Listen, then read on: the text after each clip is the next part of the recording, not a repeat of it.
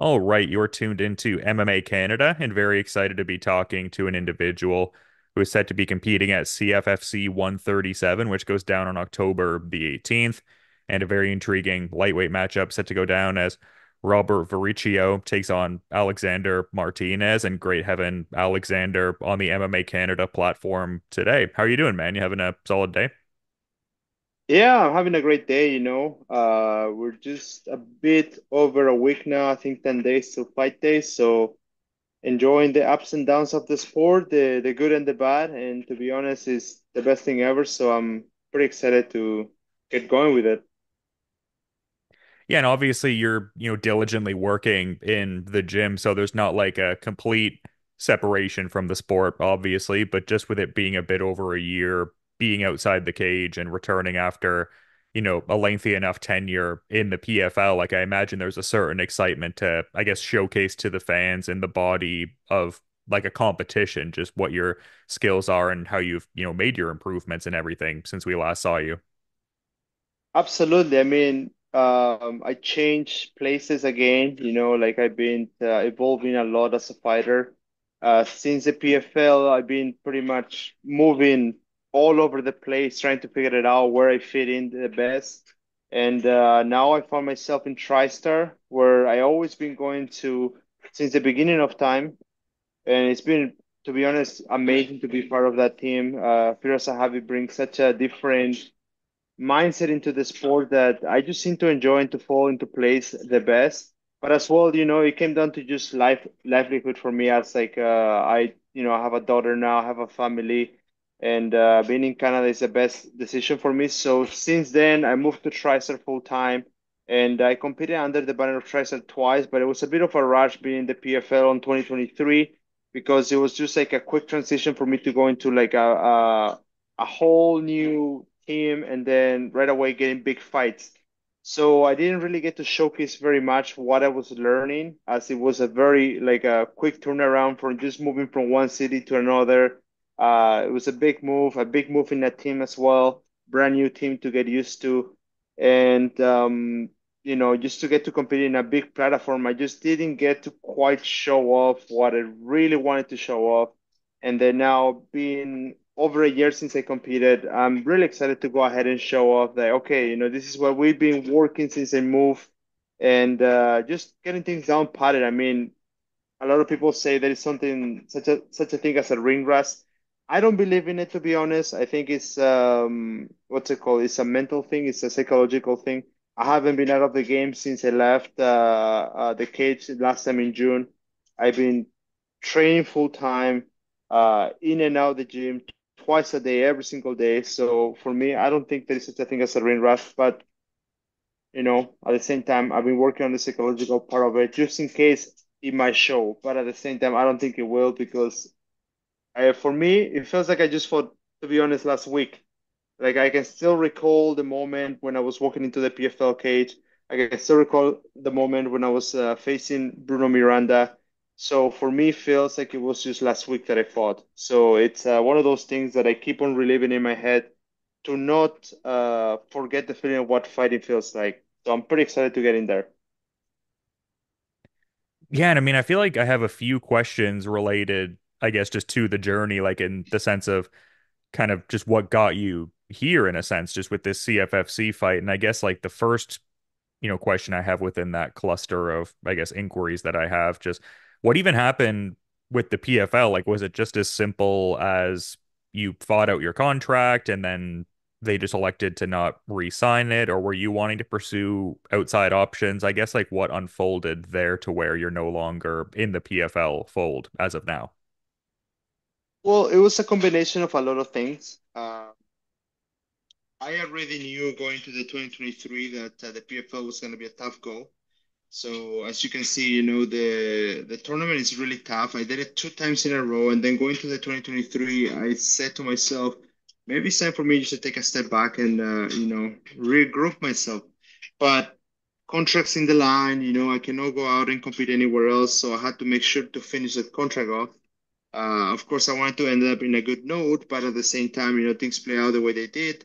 Um, you know, fought well, things went decently well. I mean, it lost, but at the same time, there were pretty close matchups, you know, great fights. Um, so that was one part of it. My contract ended, and then it came down to the decision now whether I wanted to resign with the PFL or not. And resigning with the PFL means going back into the tournament season, which is a great opportunity. But at the time, for me, I just thought that I needed a little more of uh, what's it called? Uh, I needed to grow a little more to go back into the PFL, just because every single match that I was gonna I was gonna get, it was gonna be a high level matchup. I knew it was not gonna be um, a favorable matchup anymore. Uh, well, there is never really such a thing as a favorable matchup because we both are fighting for something big, but at the same time, you know, just a lot of experienced veterans. And when that happened at the time, I got the option to either resign with the PFL or take a step back and reconstruct myself. So I said, okay, I'm still young. Uh, at the time, I was only 29, and then this year I turned 30. So the time is okay. I still have quite a few good years in me. I'm still quite healthy. I never really took any big damages. My brain's doing well. My body's doing well. No big injuries, nothing. So I said, okay, I still have a long time in the sport that I can I can do really good with it. So I could either keep going with the PFL and keep grinding my body because we're really throwing our body to the grinder. I mean, we got to make weight uh, every two months. So every eight weeks, we gotta be 155. And for me, a 155 cut is not quite of an easy cut. Um, at least to the point where I can do it often. You know, I need to maintain a very low. Uh, to be honest, there is no life to it. You know, when you're in the tournament, you have to make 155 every eight weeks till you make it to the finals. But at the same time, just to make it to the finals, you have to go through those tough weight cuts, uh, back-to-back fights and I just thought at the moment for myself, it was gonna take a lot of years out of me for my career. So my coach and I decided, okay, it's probably better for us just to take one step back and regroup ourselves, get some more experience, and then go back into the big show. And now, of course, our goal is 100% the UFC. Oh, that's interesting. So the focus, I guess the impression that I was even kind of getting there was like, I don't know, maybe you would potentially entertain another go in the PFL, but the primary focus would be to get to the UFC from here on out. Well, it, we could go back to the PFL as well, right? But I mean, right now at the moment, um, just how things are going, I think, and I would love to uh, go for the UFC at the moment. Uh, the way that things are going, the way that things are looking, and just how the how much uh, of a go the UFC is getting. In my heart, I feel like I would like to give my go in the UFC. You know, everybody get everybody wants to have that try into the into the big show. I mean, don't get me wrong, PFL is a big show as well, but at the same time, it's one of those things that uh, as a fighter, you grow up watching the UFC and you want to make it to the UFC. The PFL is one of those things where it just came not too long ago so it's it's a great opportunity for fighters, don't get me wrong. But at the same time, you know, it's one of those things that I just want to accomplish is say, okay, I was in the UFC, I've done it, and I also don't just want to go in the UFC, but I want to stay in the UFC for a while. Um, but now nobody knows what the future will tell. Uh, two, three fights from now, maybe I get a good contract from the PFL offer again, and it's something that uh, entices me to go back into it. I'll definitely take it. It all depends on what is offered at the moment that I'm, you know, in the future. Like I said, right now it's hard to decide what I will do because it all comes down to what they offer and at the moment of my career. So right now the goal is the UFC, but at the same time, my focus is on next week. Oh yeah, for sure. I mean, definitely not overlooking your opponent, Robert Varricchio, but just kind of an interesting sort of like thing to consider for sure. I, and I just wanted to make sure I kind of I guess had the correct idea of what you were saying. Like, yeah, I do, I do hear what you're saying at the end of the day, man. I guess the idea is that it's just good to have options, and it seems like you very much do have that. I guess like another question that I had though that I don't feel like has been, I guess, addressed publicly from what I've seen at least, but I had seen circa February that Unified MMA had announced that you were part of a deal and that they could expect you in the Unified cage somewhat soon, and just with you fighting for CFFC here. I'm kind of curious, like, do you, I guess, like have a one fight deal with CFFC and then you're going to fight with Unified thereafter, or like what's the deal with that as of now, I suppose? Um, the deal was, uh, you know, I get to get fights with the Unified, so we were supposed to, you know, find fights within the Canadian region. But then things just start to get a little bit tough to to find the proper fights. I mean, like you said, me being away from the cage hasn't been something that I wanted to do. Uh, I wanted to be in the cage a lot sooner than what things have happened, how things have happened. But at the same time, you know, it's hard coming from such a big stage. It's really hard to find the next opponent. You know, it's hard to find the the opponent that will propel you to the next one. You know, everybody, of course, wants to get a piece of the pie, but at the same time, they don't bring much to the table. So it's not like I would come and just fight somebody who is on a losing streak or somebody who, um, how do you say, uh, just wants to take uh, a name. You know, it's it's very important the way that you you plan to to get back into the fighting once you come out of such a big stage because the goal is to go back into the big stage. You know, the goal is not to stay around and just fight as many times as you want. You want to prolong your career. So for me, as soon as I came out of the PFL, I was okay. Well, I would like to fight regional as soon as possible. And I would like to stay within the country, you know, fighting in Canada if possible, because that's where my people are, and I can bring a lot of sponsorship and views and such things. But at the same time, things were just not giving in. Um, opponents keep falling through. Then uh, there was a lot of things where they were keep telling me, okay, we're fighting this guy, and then the weight starts to rate, you know, go up and higher and higher, and it's kind of like, hey guys, I'm a 55er, you know, let's let's stick to 55. I want to stay at 55 and I want to fight at 55. And then, you know, it's almost like uh, all of a sudden things start to become a little bit more of a gamble. And um, like I said, our goal is professional. We want to go at the 155, make it the highest level when it comes down to 155. And um, things were just not given. The opponents were not showing um, just because of the regional circuit. So we start expanding our, uh, what's it called? We start expanding our radar we start seeing in other places uh, UAE warriors. And don't get me wrong, I'm still open to fight for Unify. It all just comes down to when, where, and who. We were supposed to fight for their car in September, but that got in Edmonton, and that got canceled and got postponed to November. I told them, hey guys, you know, I would like to fight as soon as possible. I've been preparing myself for September.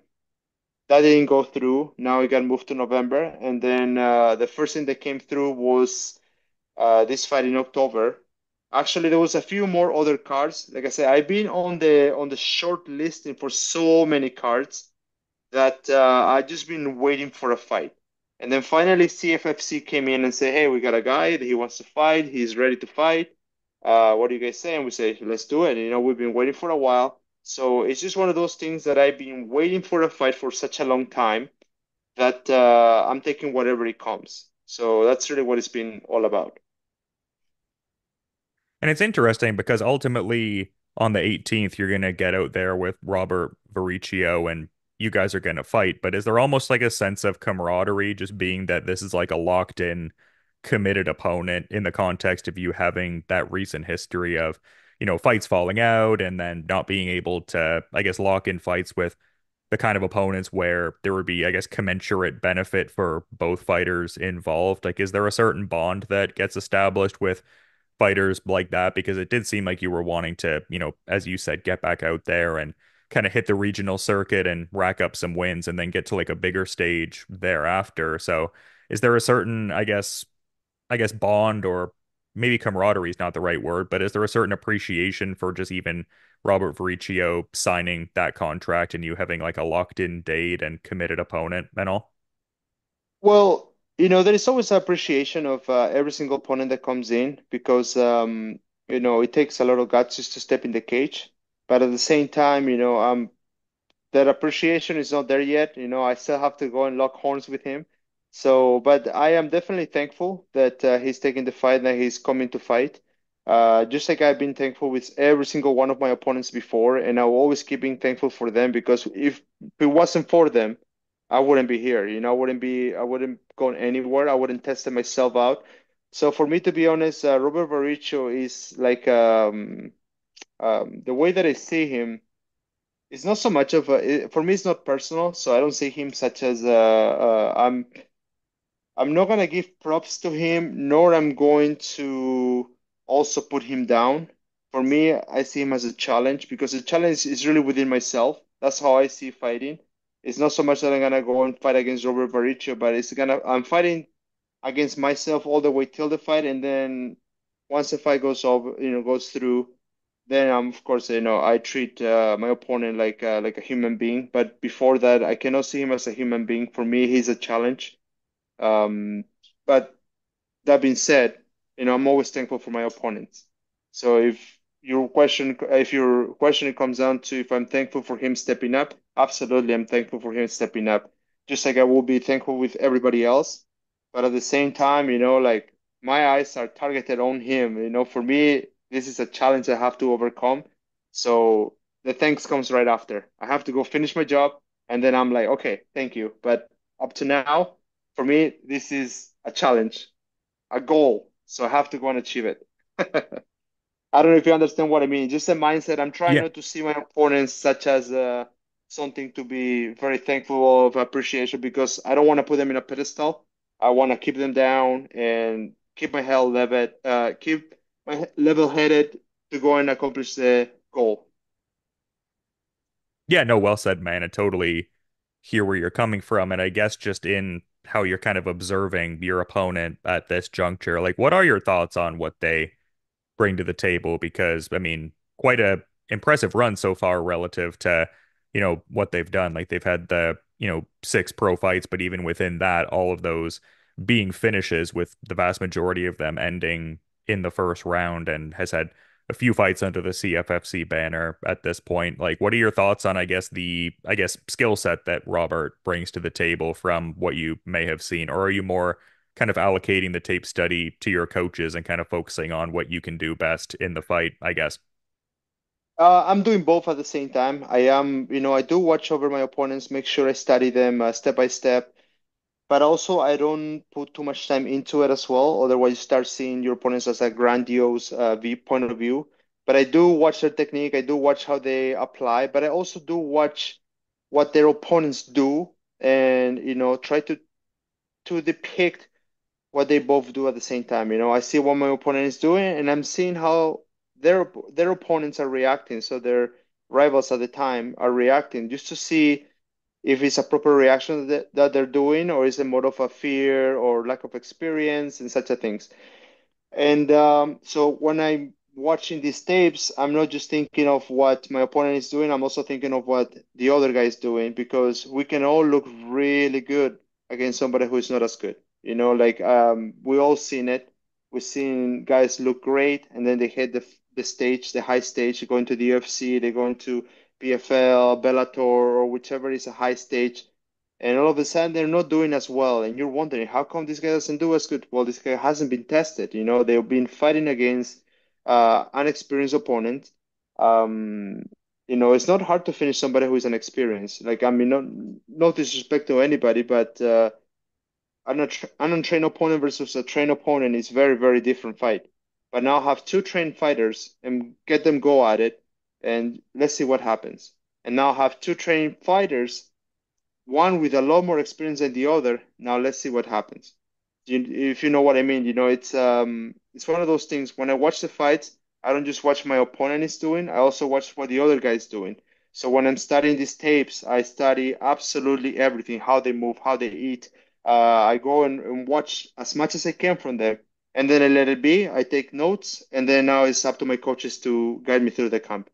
But then after a bit, I don't, uh, I try to not go and touch it anymore. I, like I say, I take all the details that I can as soon as the camp starts, and then I watch it once or twice throughout the camp just to make sure, and that's it. And then after that, it's up to my coaches, and then I just have to show up and perform my skills.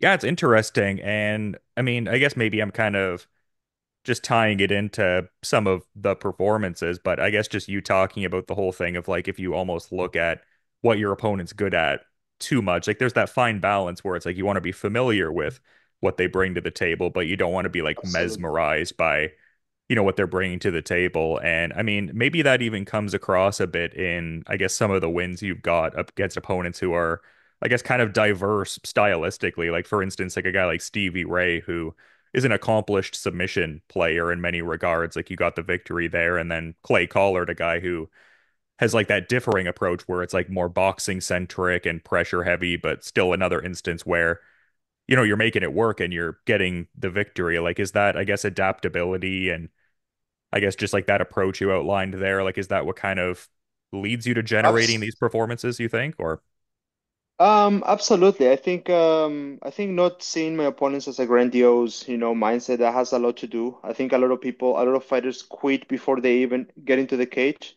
Um, when I step in there, I completely clean myself off. I forget who I am. I forget who my opponent is, and I just fight as it is, you know. So I try not to think too much of myself, and I try not to think too much of my opponent. So I really come with a very cool-headed and neutral position and then um, I let my skills take over, you know. And now it comes down to who's been prepared the best. And for me, preparation has a lot to do. Um, when I'm training, my training camps are very intense. I go through the ringer, like like they say, you know, I, I push myself till the end. Um, I cut no corners. I take care of myself. I take care of my diet, but you're constantly learning. You know, you're making mistakes as you're going, and you're learning every single training camp, and that's the part of uh, experience, which I love. And like you said, you know, somewhere like in the PFL, and that's one of, why that's why it was one of the reasons why I wanted to take a step back is uh, there is so many different styles that um, every fight is a brand new fight. You know, like you could be the best grappler, but then the next fight you fight against the best striker, and then the fight after that you fight against the best grappler and striker. You know, so it all comes down to styles. And in the PFL, you always have the best of the best when it comes down to time wise. Like there's a lot of veterans, and they're all really good at what they do. And um, I think a lot of my success just came down from uh, the mindset, to be honest. I never quit it on myself. I never quit it in a fight. I always push through.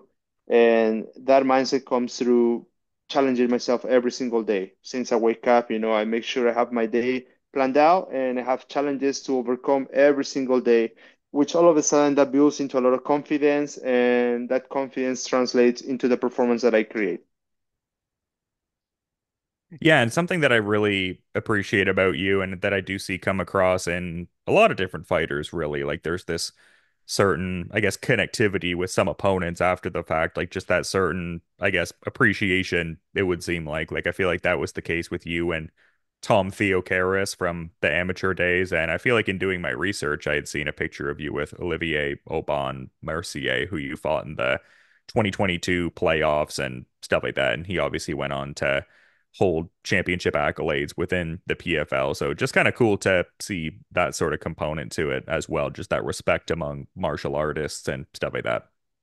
Absolutely. I mean, like I said before, you know, uh, in the end of the day, I'm very thankful of all my opponents. Um, without them, I cannot be there. You know, without them, I cannot perform. I cannot do what I enjoy.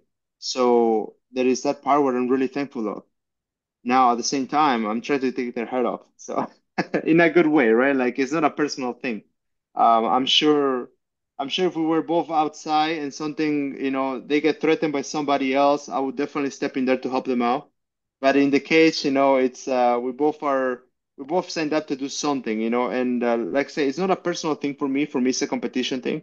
Um, he's there to test me, and I really always hope they bring the best of their game, so I can really test myself and elevate myself as a martial artist.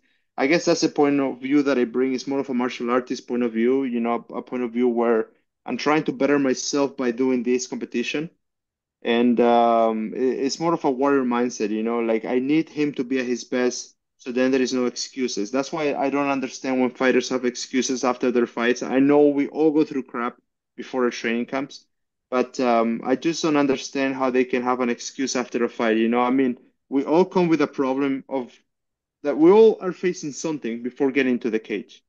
And um, I never came after a loss and told them what I was facing. I would tell you the facts face to face, but I will never go on social media to tell them, oh, I lost because of this. Oh, I lost because of that. This is what happened. I tried to take it as a man because we both signed that dotted line. We knew what day we had to show up and at what weight we had to be. And then when it's time to perform, we both performed to the best of our abilities in that moment.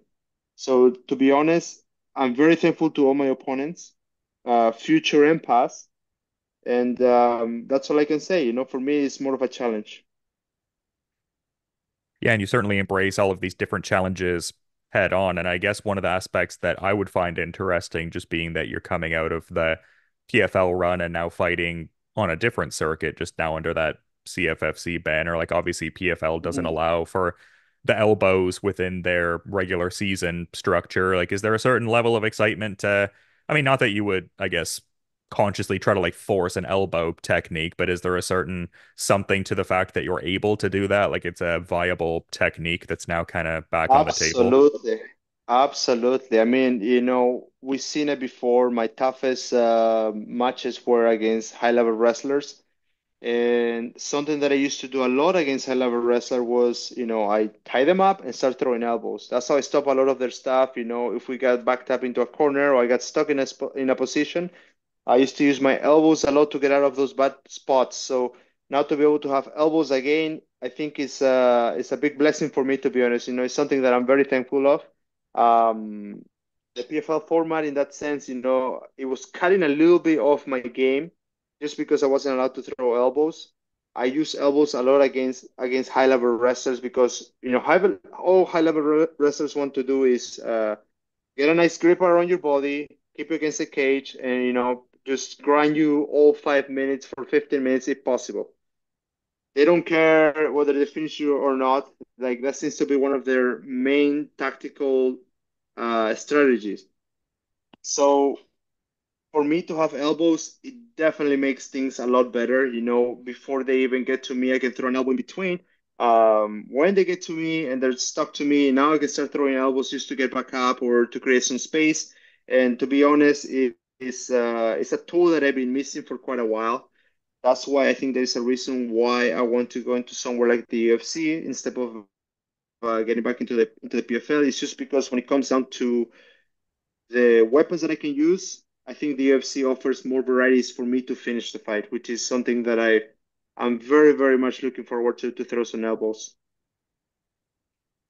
Yeah, and I guess speaking of elbows and then tying in the TriStar element, I was talking to Yeah, as a hobby recently because he's fighting on that UFC Edmonton card, and kind of interesting that this is be the first UFC event that uses those newly amended unified MMA rules where you can use like the 12 to 6 elbows and there's Mhm. like the differences in what a grounded opponent is and stuff like that.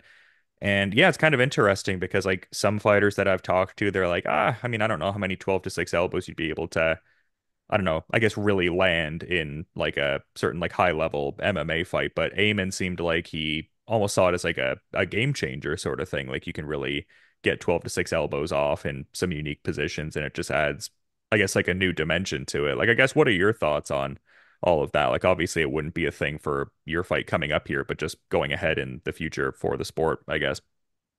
I'll be honest to you, you know, the less rules we have, the better it is for fighters, just because you become more free, you know, like um, you don't have to think too much, you know, you just perform and uh, whatever is allowed is allowed. But as soon as you have too many rules that you're not allowed to do, then you kind of have to like how you say, start thinking a little bit more when you're in the cage, you know. Um, big thing was when I was an amateur. I remember uh, some amateur places were they were allowing knees, some other places were not allowing knees to the face or to the body. Um, and just adjusting to those rules were a bit hard sometimes. You know, you get the guy in a position where you can take advantage of, and you have to constantly remind yourself, don't knee, don't knee, don't throw your uh, knee to the face or to the body. You know, where other places you could do that.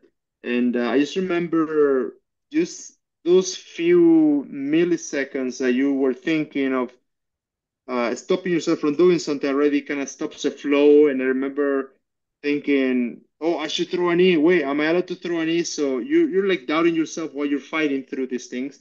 And even though the 12 to 6 elbow might not be landed as much, just that freedom in, you know, in throwing an elbow without worrying, what, you know, oh, is my elbow the right way? Should I tilt it a little bit more? That will just change the whole dynamic of fighting, I think. I think people will be throwing elbows a lot more just because now they don't have to worry what angle their elbow is going. They're just of throw it. It might be 12 to 6, or it might be, I don't know, like uh, uh, in a different angle. But just knowing that uh, they won't get called out from 12 to 6, they will just be throwing more elbows naturally. That's what I believe. I think it brings more freedom to fighters and they won't be overthinking.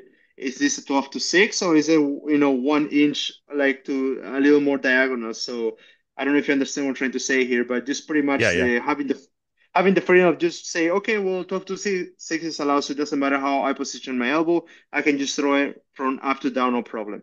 I think just to have that mindset would change completely the dynamic of fighting, and people will be throwing elbows in a lot more, in a little more of an uncomfortable position. So, which is a, it's a good thing. Yeah, for sure. It'd just be an interesting thing to see. It seemed like such an archaic rule. Like it's like people are throwing elbows from a very similar angles anyway, like just slightly off to kind of stay within the rules for sure. But And yeah. that's what I mean. And that's what I mean by it, right? I mean, guys are still throwing the elbow, and then while they're throwing, you know, the even the referee is questioning it. Is like, is that was that 12 to 6 or no? And they stop the fight for no reason. And Yeah. uh, even though, you know, you can go in the replay and it's just a little bit slightly off, oh, that's allowed. Okay, we can keep going, kind of thing. So it really just makes uh, uh, the whole fluidity of the fight stop just for no reason. And as well as fighters, you know, they throw a 12 to 6 and the fighter on the bottom, you know, oh, that was a 12 to 6. And it's like, it stops the dynamic of it. Where now you say, okay, 12 to 6 is allowed. And even the guy on the bottom defending will know that uh, he needs to get out of that as soon as possible because, uh, you know, he cannot use that rule, oh, it's 12 to 6, you know. It's, um, how you say, now every, it doesn't matter for where it comes from. As long, as long as it comes from the sky to the ground, it's allowed. So you have it in your head, okay, he can hit me here from the sky to the ground doesn't matter what angle it is. Same thing, I can hit him from the sky to the ground. Doesn't matter what angle it is. And I think it's a good thing. Uh, like I said, it will bring a lot more fluidity to the fight game. Yeah, very much agree, man, for sure. It's been great and to have you on and talk to you, though. Like I said, it's kind of been a little bit since you've had a, a fight lined up, and glad you could finally get something lined up. It seemed like kind of a frustrating Absolutely. timeline from what you were talking about. But yeah, no, all steam ahead heading into CFFC 137, man. But I figured I'd kind of give you the floor in case there was a final thought you wanted to add as we're wrapping up here. I do appreciate you, uh, you coming on and talking, Alex. Uh, thanks, man. I appreciate it. And uh, there's so much to say. Uh, like I said, I'm staying a bit reserved before the fight. Um, I wasn't even planning to do any interviews, but then you, because it was you, I was like, okay, you know what? He's been around for a long time. He's been uh, always asking me for an interview. I would not say no to him. So, but I just been staying reserved, you know, like um, I haven't even been posting much on social media. I've been staying reserved, uh, focusing on my game. And all I can say is I'm very excited to be there next Friday. I have so many things to show off, which the way that I believe things will go, I don't think I'll even have the chance to show them all off because I think I'm coming for the finish. So, but at the same time, I have so much to show. I've been so excited to show it off. And um, to be honest, this is probably the first time I could say I'm very excited to get back in there. You know, most of the time I feel a lot of pressure, but this time I feel like a, a sense of um, gratefulness to get back in there. You know, just just to be able to fight. So many things needs to line up. That's something that never happened to me before. You know, always I always had fights whenever I wanted to fight. So I'm just really grateful to be able to have the opportunity to fight next week.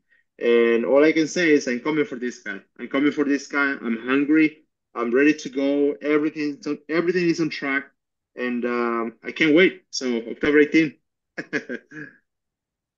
Yeah, it's going to be great, man. I'm stoked to check it out and whatnot. And yeah, again, to reiterate, thanks so much for coming on the MMA Canada platform. I think you'll have a lot of skills to show off here in this one. And just, yeah, great to see you back in the fold in the sport, man. Hopefully, you can arrange something in the future too to chat whenever your, you know, subsequent fight is. But no, super happy we can make this work now, man. Absolutely, man. Thank you very much. Thank you for always doing this for the fighters. You know, this helps a lot. I don't think you realize it. And I never been out of the sport. huh? I just been very quiet. I've been working really hard on my own here with my coaches. I've just been very quiet. That's all it has been. But uh, I never been out of the sport. I've been pursuing the sport since the last time you saw me in the cage till now. I've been on the gym, never a day off.